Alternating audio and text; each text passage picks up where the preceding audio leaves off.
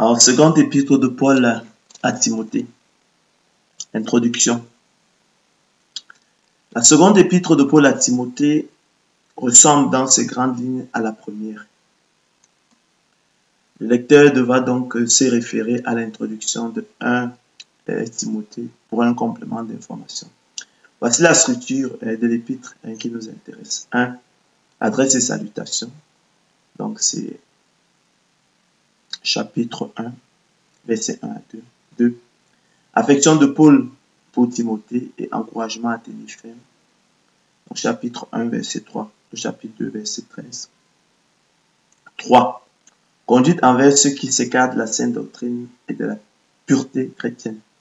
C'est le chapitre 2, euh, verset 14 au chapitre 4, verset 5. 4. Paul a la perspective de sa mort et communication sur diverses personnes. au chapitre 4, verset 6 au, au verset 18. 5. Salutations et doxologie finale. Chapitre 4, verset 19 au verset 22. L'auteur dit que le Seigneur répande sa miséricorde sur la maison de d'Onésiphore, car il m'a souvent consolé. Il n'a pas eu honte de mes chaînes.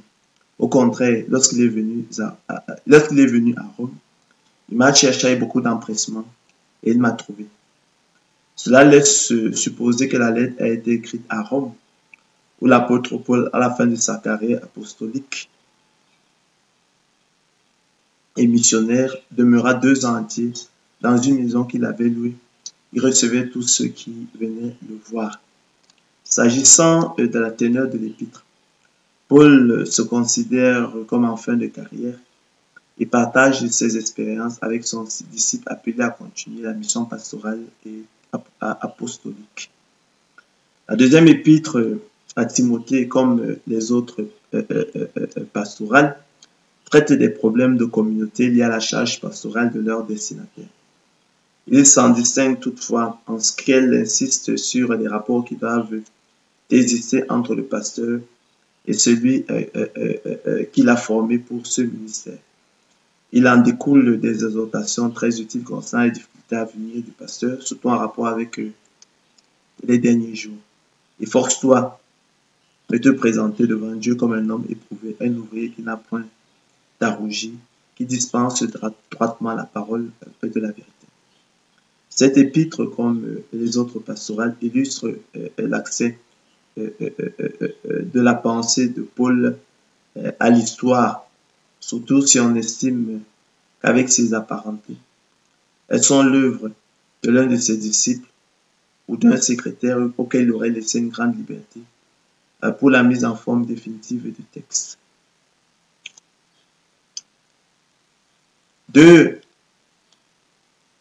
Timothée 4, 11 à 13 fait penser à Luc, euh, qui est resté seul avec lui pendant un temps, alors que euh, 1, 3 à 2.13 à l'allure d'un testament.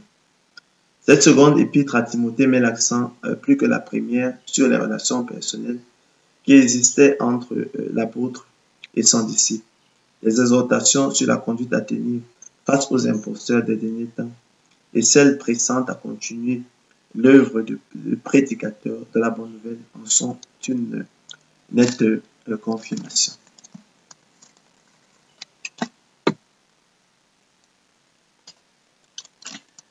Adresse et salutations.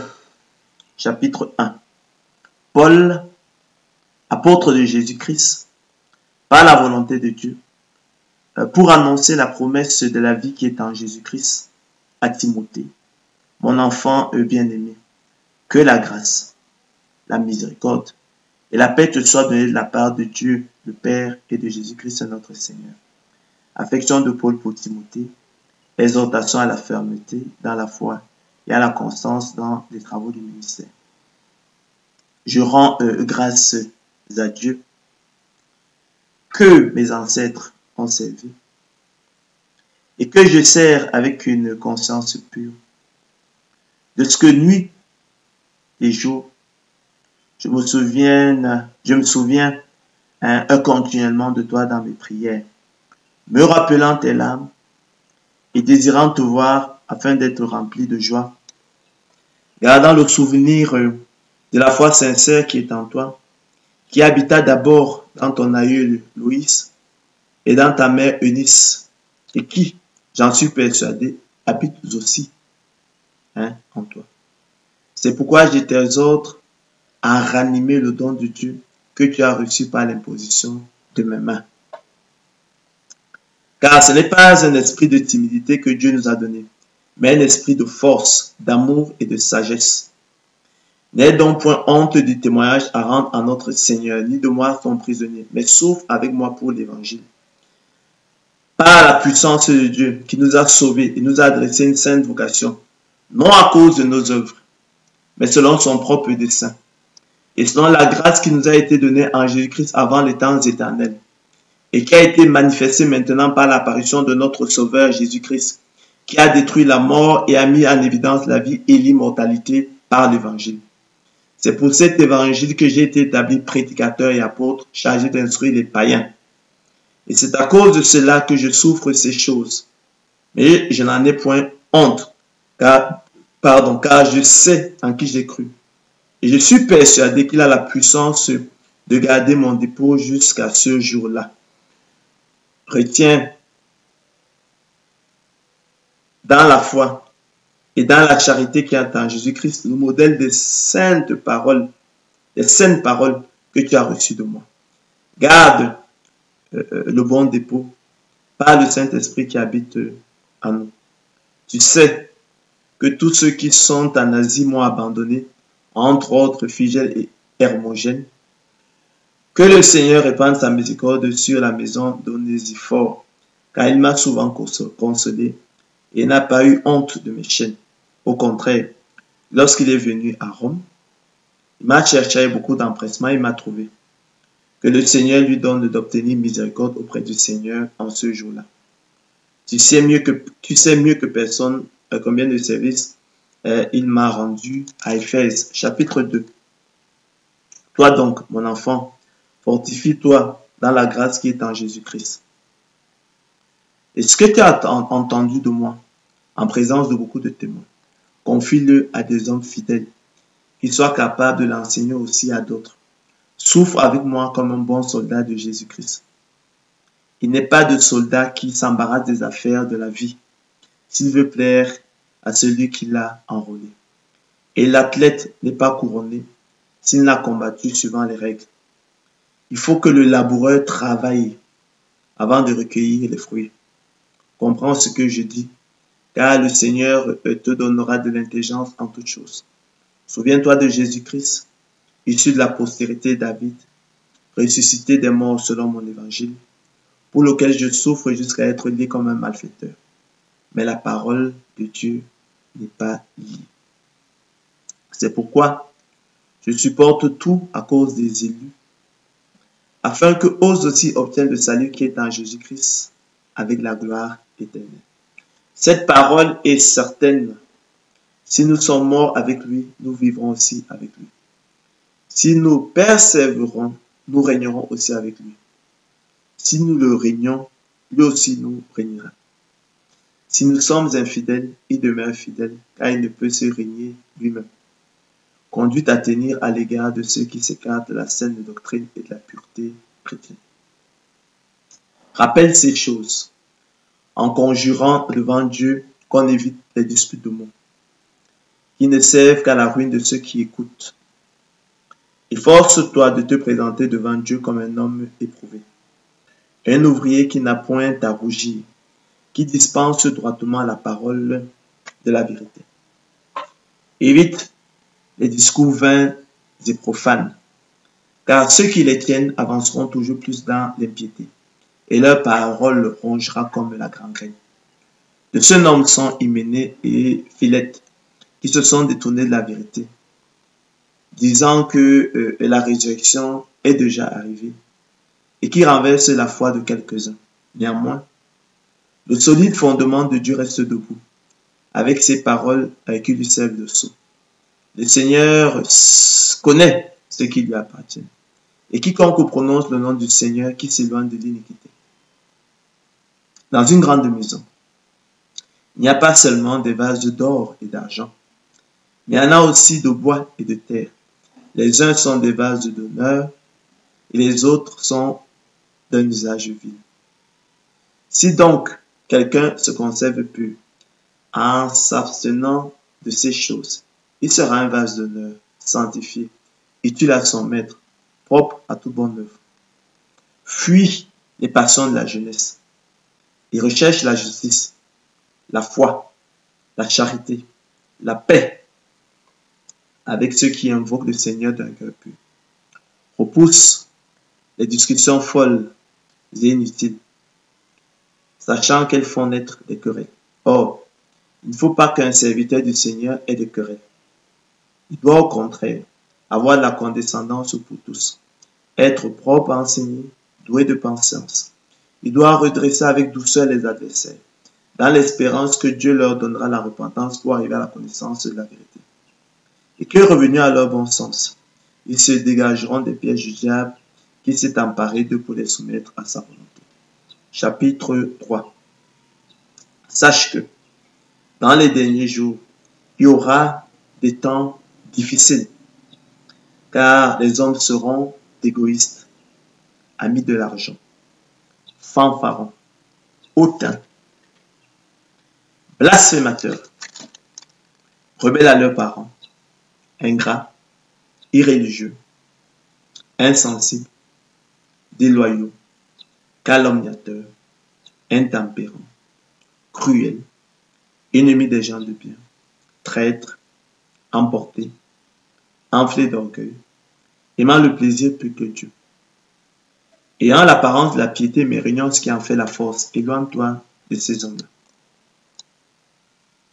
Il en est parmi eux qui s'introduisent dans les maisons et qui captivent des femmes d'un esprit faible et borné, chargées de péchés, agitées des passions de toute espèce, apprenant toujours et ne pouvant jamais arriver à la connaissance de la vérité. De même que Janet et Jambré s'opposèrent à Moïse, de même ces hommes s'opposent à la vérité, étant corrompus d'entendement, réprouvés en ce qui concerne la foi. Mais ils ne feront pas le plus grand progrès, car leur folie sera manifeste pour tous, comme le fut celle de ces deux hommes. Pour toi, tu as suivi de près mon enseignement, ma conduite, mes résolutions, ma foi, ma douceur, ma charité, ma constance, mes persécutions, mes souffrances. À quelle souffrance n'ai-je pas été exposé à Antioche, à Icône, à Lystre? Quelle persécution n'ai-je pas supporté Et le Seigneur m'a délivré de toutes. Or, tout ce qui veut, tout ce qui veut vivre pieusement Jésus-Christ seront persécutés. Mais les hommes méchants, les imposteurs, avanceront toujours plus dans le mal, égarant les autres et égarés eux-mêmes.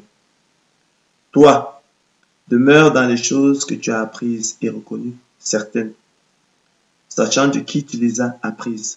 Dès ton enfance, tu connais les saintes lettres qui peuvent te rendre sage à salut par la foi en Jésus-Christ. Toute écriture est inspirée de Dieu et utile pour enseigner, pour convaincre, pour corriger, pour instruire dans la justice, afin que l'homme de Dieu soit accompli et propre à toute bonne œuvre. Chapitre 4.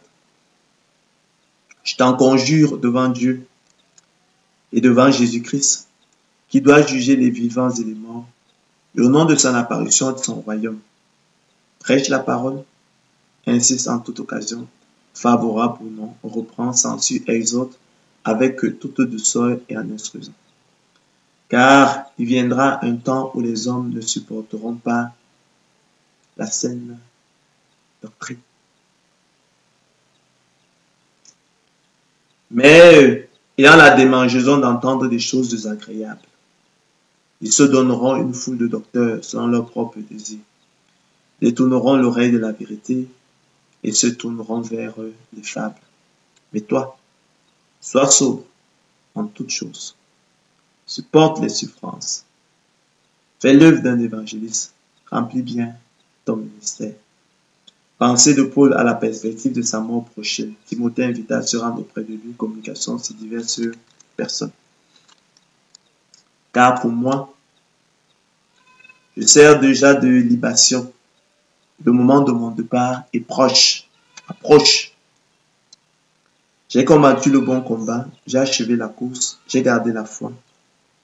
Désormais, la couronne de justice m'est réservée. Le Seigneur, le juste juge, me la donnera dans ce jour-là. Et non seulement à moi, mais encore à tous ceux qui auront aimé son avènement. Viens au plus tôt vers moi, car Demas m'a abandonné par amour pour le siècle présent. Il est parti pour Thessalonique. Récent est allé en Galatie, Tite en Dalmatie. Luc seul est avec moi. Prends Marc et amène-le avec toi, car il m'est utile pour le ministère. J'ai envoyé Tichik à Éphèse. Quand tu viendras, apporte le manteau que j'ai laissé à Troie, chez Carpu, et les livres, surtout les parchemins. Alexandre le forgeron m'a fait beaucoup de mal. Le Seigneur lui rendra selon ses œuvres. Garde-toi aussi de lui, car il s'est fortement opposé à nos paroles. Dans ma première défense, personne ne m'a assisté, mais tous m'ont abandonné. Que cela ne leur soit point imputé. C'est le Seigneur qui m'a assisté et qui m'a fortifié, afin que la prédication fût accomplie par moi et que tous les poyens l'entendissent. Et j'ai été délivré de la gueule du lion. Le Seigneur me délivrera de toute œuvre mauvaise et me sauvera pour me faire entrer dans son royaume céleste. À lui soit la gloire au siècle des siècles. Amen. Salutations. Salut Prisca et Aquilas et la famille d'Onésiphore. Eraste est resté à Corinthe et j'ai laissé euh, Trophime malade à Milet. Tâche de venir avant l'hiver. Ébulus, Pudin, Limu, Claudia et tous les frères te saluent. Que le Seigneur soit euh, avec ton esprit. Que la grâce soit avec vous. Fin de la seconde épître de Paul à Timothée.